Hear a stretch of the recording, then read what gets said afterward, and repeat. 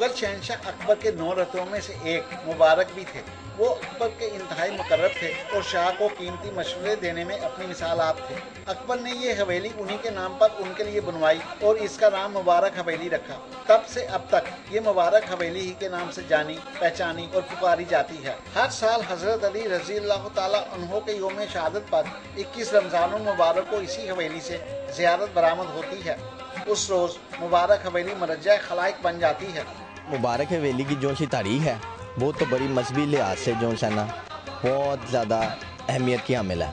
यहाँ से मरकली जुलूस निकलता है हज़रत अली की शहादत का लाहौर के पहले मेयर नवाब सर नवाज़ अली खान जब काबल से लाहौर तशरीफ़ लाए तो मुबारक हवेली उनकी जायदाद में शामिल कर दी गई। फिर इसकी मलकियत नवाब हदायत अली खान से होती हुई, उनके बच्चों तक पहुँची।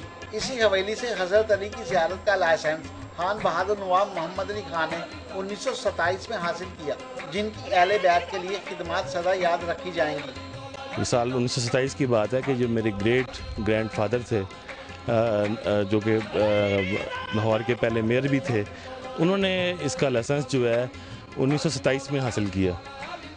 और फिर वो लाइसेंस हासिल करने के बाद लखनऊ गए। वहाँ से उन्होंने जो थे वो एक्सपर्ट जो थे वो चांदी के काम के जो सुनार होते हैं, वो उन्होंने वहाँ से लिए। मुबारक हवेली शहर के गुंजान आबाद इलाके में पूरे करोफार के साथ इस्तादा है। अहले मोहल्ला इस हवेली के मजहबी और तारीखी मकाम से पूरी तरह आगाह हैं। वो जब भी यहाँ से गुजरते हैं, उनकी निगाहें अदब एहतराम से झुक जाती हैं। कैमरामैन सैयद मराज के साथ Akhtar Hayat, city forty two.